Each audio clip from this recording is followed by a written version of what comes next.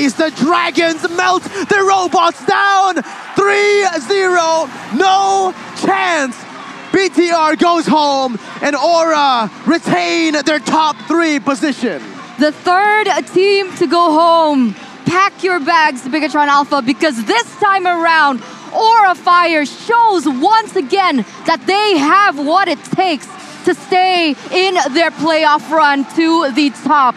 3 to 0, clean sweep by the Hydras, the Indonesian Hydras, just when we thought to count them out, just when we thought their run was shaky. They show us how unpredictable, how crazy, how impeccable and strong Aura Fire is. To see the handshakes from the members from both Aura Fire and Bigetron Alpha, sending BTR off with a last, last show of sportsmanship. And this is when things get bittersweet, right? Amazing run for Aura Fire. But unfortunately, after two months, even more of training, of hard work, of just doing everything together, giving everything they could here, unfortunately, Bigetron, their playoff run comes to an end, and you can see the emotions on the players as they take a final bow. Thank you so much, Bigetron, for everything you have been able to just develop so much as a team.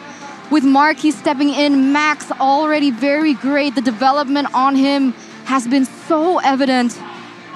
It's just so, so difficult at this point of the game and at the point of this in the tournament.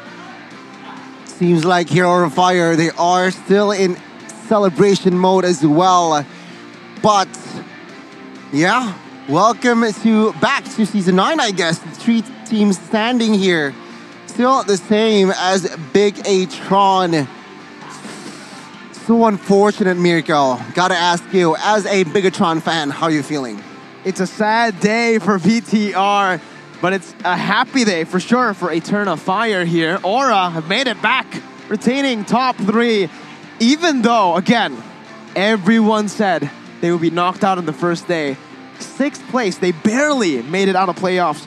A lot of people said they were lucky to even be in the playoffs. It should have been Geek Fam. It should have been EVOS. But Aura are showing that, no, it should be us. Oh, it's so difficult to see. The player room here, Bigetron Alpha, come back stronger next season because you guys sure have the potential. I mean, Moreno already really stepping out of his comfort zone. You can see the synergy already built, to be honest, for Bigetron. The passion, the tears from Bigetron Alpha. And I have to agree with you on that point.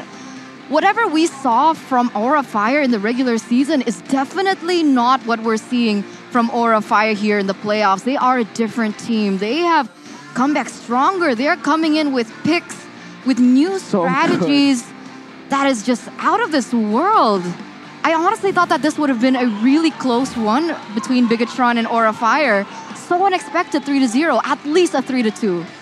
Absolutely, everyone, right? Everyone said this, and again, the audience prediction it was 54% towards BTR. So again, it's Aura just absolutely destroying the prediction game.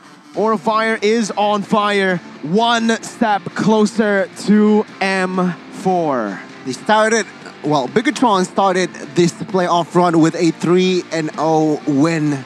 But And they have end- to go home and they and it ends with a 3 and 0 loss. It's poetic.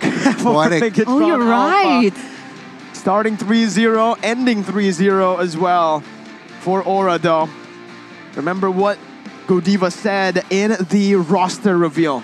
Doesn't want to be called the People's Champion. What is the People's Champion? It's time for them to be the real, the actual champions of MPL.